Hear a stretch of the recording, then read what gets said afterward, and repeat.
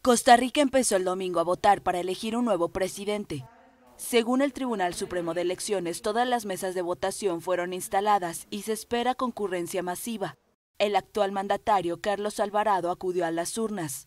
El expresidente y candidato centroizquierdista José María Figueres, que gobernó entre 1994 y 1998, lidera los sondeos con el 17% de las adhesiones y fue de los primeros postulantes en emitir su voto.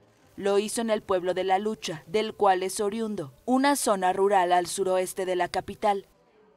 Y sí, el combate a la pobreza se hace con crear oportunidades de trabajo. Y de eso yo sé cómo se hace.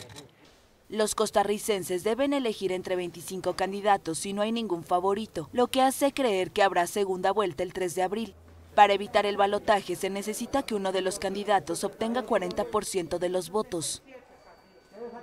Definitivamente no creo que se solucione hoy. Siento que definitivamente va a haber segunda ronda y la, verdadera pregunta hoy es más bien quién va a ir a segunda ronda.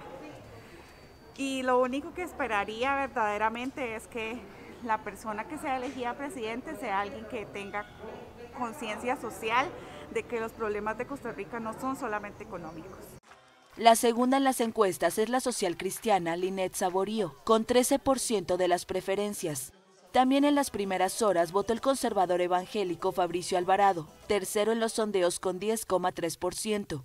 Los otros aspirantes con posibilidades son el economista de derecha Rodrigo Chávez con 8,2% y el izquierdista José María Villalta con 7,6%.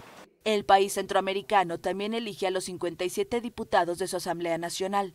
Unos 3 millones y medio de costarricenses de un total de 5 millones podrá votar hasta las 6 de la tarde locales. Los primeros resultados oficiales se conocerán tres horas después.